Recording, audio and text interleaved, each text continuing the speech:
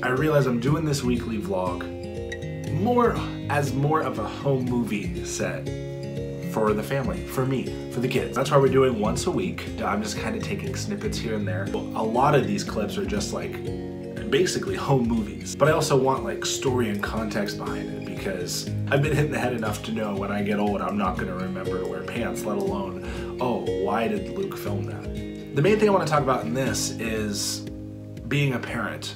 Uh, there's the saying of you don't know it's the last time until it's over. Uh, lots of kids are last time sleeping in a crib, last time drinking from a bottle, last time they couldn't walk, things like that.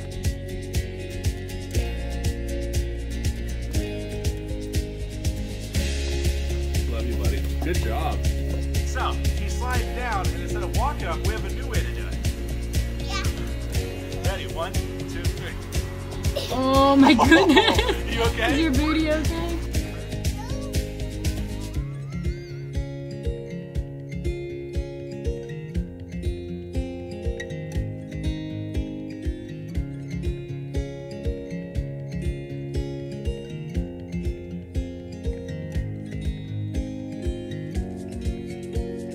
Dad, it's not taking pictures. It's a picture. We're taking a picture.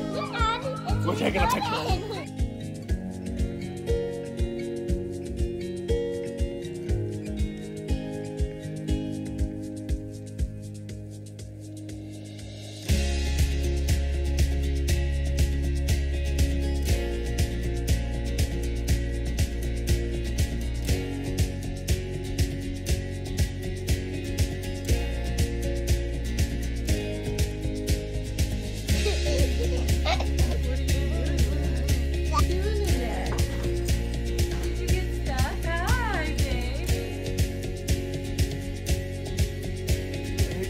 Bow tie.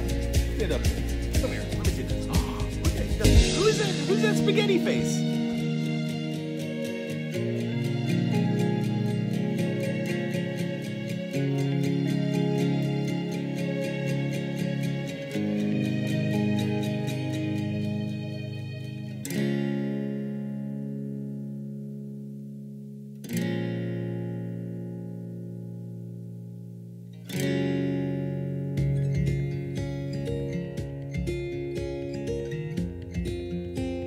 I already know, with Zeke being older, that there's things of him as a baby that I've forgotten about that I saw in the vlogs and was like, oh my gosh, I remember that. So as we look back as the one-on-one times, the family times, the laughs, and the memories, I want to let it sink in.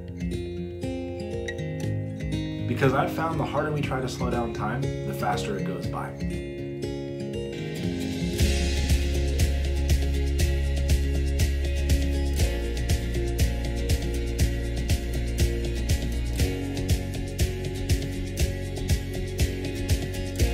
Well, thanks for watching.